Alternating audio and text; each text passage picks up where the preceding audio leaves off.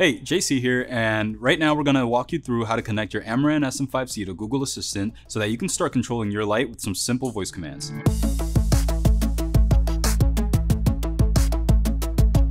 To start off, you'll need to download an app called Tuya Smart.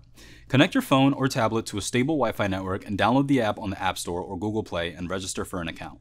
Then, press and hold the leftmost button on the controller for 3 seconds or until the indicator light flashes quickly. This means that the Wi-Fi reset was successful. Open the app and from that point, enter details to connect to Wi-Fi and allow access permissions with Tuya Smart for home data, notifications, and Bluetooth. After that, click the Add Device button or the plus button on the top right. Ensure Bluetooth is enabled and click the Add button to connect to the SM5C. Once the light has been found, click Add and then click Done.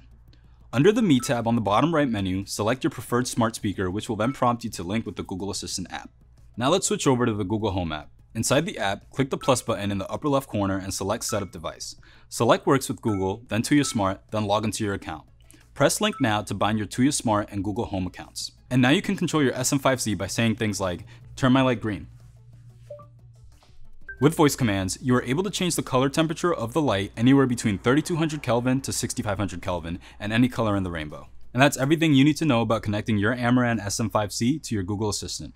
If you're looking to connect your light to Amazon Alexa or Link, check out the other videos that we have in our YouTube playlist. If you have any questions about connecting your light or need help troubleshooting the process, don't hesitate to leave a comment below. We'll gladly answer anything when we have the chance.